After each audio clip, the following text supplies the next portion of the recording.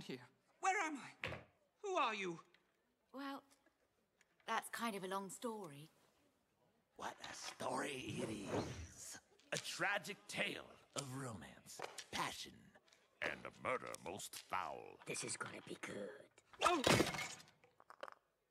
Hit it, boys.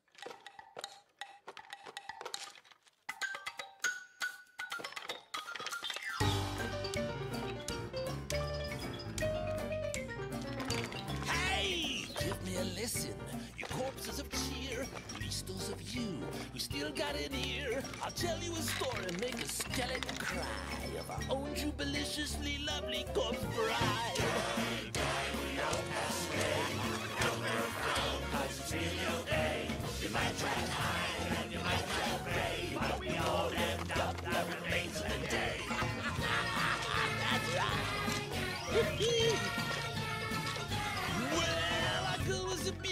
For miles around. When a mysterious stranger came into town, he was plenty good looking, but down on his cash. And our poor little baby, she fell hard and fast when her daddy said no. She just couldn't cope, so our lovers came up with a plan to elope.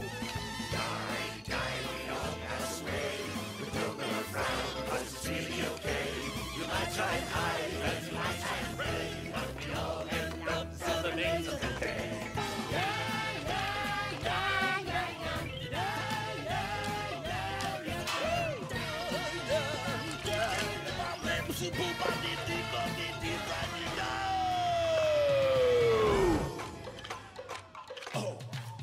that's it. Ah, okay. Oh yeah. Come on, boys, pick it up. Yeah. Like it. Okay, Chauncey, take it. Yeah. Oh. Oh, yes, yes, yes. That's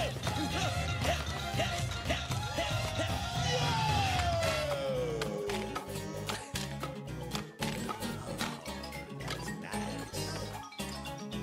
Yeah, so they conjured up a plan to meet late at night. It turned out a soul kept the whole thing her mother's wedding dress fit like a glove. You don't need much when you're really in love. Except for a few things, or so I'm told. Like the family jewels and a satchel of gold. Then next to the graveyard by the old oak tree, on a dark foggy night at a quarter to three, she was ready to go. But where was he? And then she waited. And then? There in the shadows. Was it the man? And then? Her little heart beat